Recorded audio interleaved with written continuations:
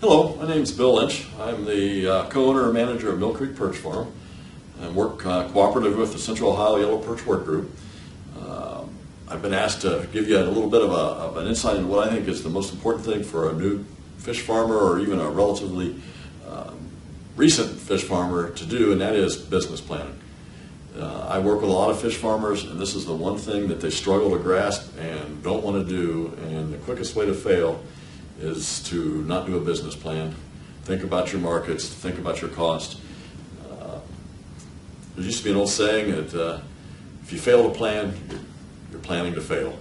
So I think that's very true. So I would encourage you to uh, do the uh, business plans, use the boot camp as the vehicle for that, and before you even try and grow that first fish, have a business plan.